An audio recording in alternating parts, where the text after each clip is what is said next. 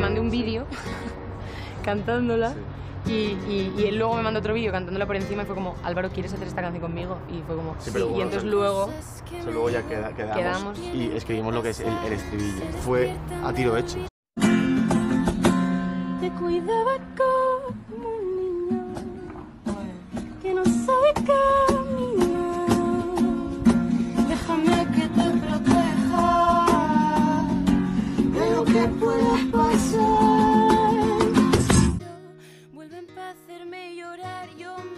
La primera vez que escuché a Nana Triste me sentí orgullosa y con la sensación de no sabía que la necesitaba hasta que la escuché.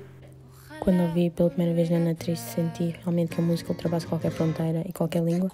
Uh, senti muitos sentimentos, uh, apesar de não ser a minha língua. Cuando escuché Nana Triste sentí orgullo y felicidad de verla cumplir un sueño con una canción tan bonita. Yo cuando escuché La Nana por primera vez me quedé en shock porque es una canción preciosa. Pues la primera vez que escuché a Nana Triste sentí como si el corazón se me expandiese y todavía recuerdo la sensación de una felicidad inmensa. Justo hace un año yo no pasaba por un buen momento y además me costaba mucho dormir y Nana Triste me dio el alivio y la paz que necesitaba. Hola, mi nombre es Mariana y soy de Argentina y lo primero que sentí al escuchar el single fue paz, como siempre me pasa al escuchar tu voz, y después un orgullo muy muy grande de que por fin salía a la luz algo tuyo y era el inicio de este camino que, que estás recorriendo y por el cual siempre elijo quedarme con vos. Sentí muchísima paz, fue como aterrizar en un mundo nuevo, con muchísima ilusión, muchísima luz y con un camino por donde seguir. Me llamo Helen y cuando escuché a Nana Triste por primera vez sentí tantas cosas que no encontré otra forma de expresarlo que con lágrimas. Nostalgia, emoción contenida y ensanchamiento del pecho por el orgullo de escuchar una canción tan sublime.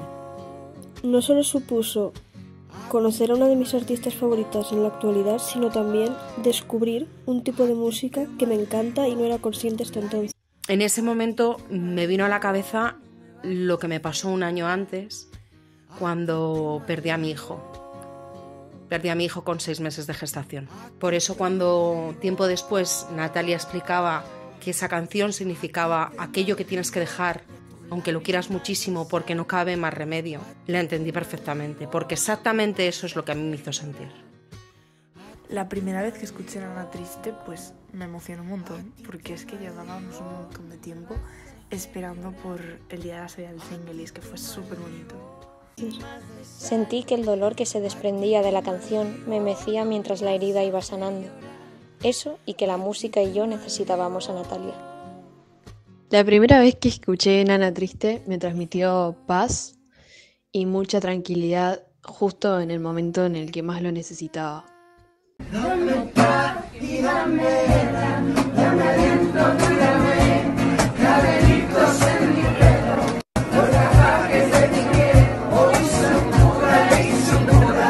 Lo que ayer sabía bien, yo maldigo a mi cordura, palomita llévame, dame paz y dame dame aliento, cuídame, clavelitos en tu pelo, los tatuajes de tu piel.